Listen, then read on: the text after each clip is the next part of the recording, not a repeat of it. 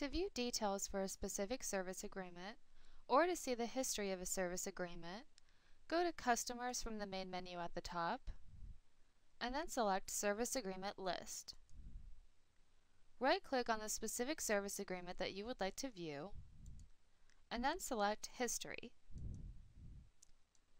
The History form will show you the service agreement number, the service agreement type, the customer for the service agreement, the sales or invoices that the service agreement has been selected on, estimates that the service agreement has been selected on, and work orders or planned maintenance work orders where that service agreement has been selected.